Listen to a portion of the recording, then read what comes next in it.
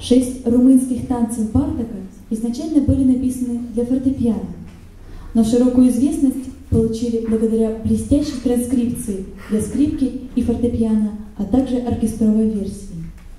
Это яркая самобытная музыка, сочетающая народные мотивы и композиторские находки. Белла Барток «Румынские народные танцы».